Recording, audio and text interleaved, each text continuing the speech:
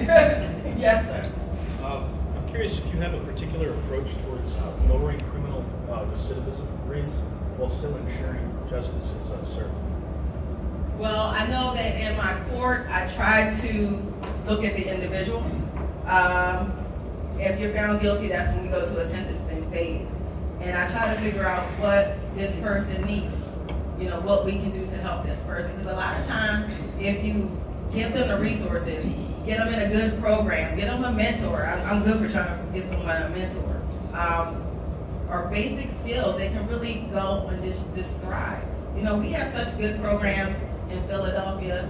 Um, and then I also have just different people in the community that I can go to. I'll give you an example. I have, you know, this one young guy. Got him like soon as he became an adult, and he just he just gave up on himself. He didn't think that he was worthy of anything.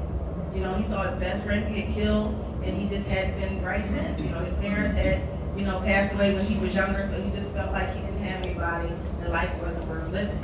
And I had to get off the bench one time because I'm like talking to him, I'm about to cry. I was like, I can't see all of this in you and you see none of it. You know, so every time he comes in, I just try to pour into him.